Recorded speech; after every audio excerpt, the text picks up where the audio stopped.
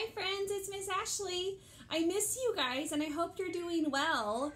Over the last two weeks, I have sent you lots of different pictures of the sounds that we're working on.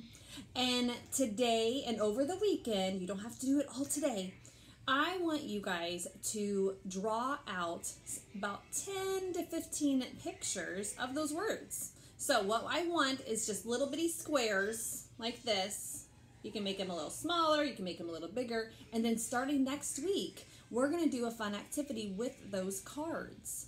So again, I just want you to pick about 10 to 15 of those different words, draw them out. You can have um, maybe mom and dad, maybe siblings, anyone in your family help you draw those, or you can just do your best and just try drawing too. And that way we have cards to work with. Um, if your family has a printer, you can certainly print those out as well. So I just want to be able to have some cards. Um, practice your words. Remember, say it first and then try saying it in a sentence.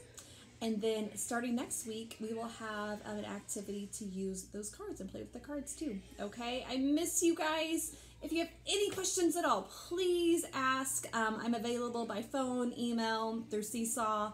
Um, I'm here to help you guys and do anything I can. So I miss you. I hope you're doing well. Bye.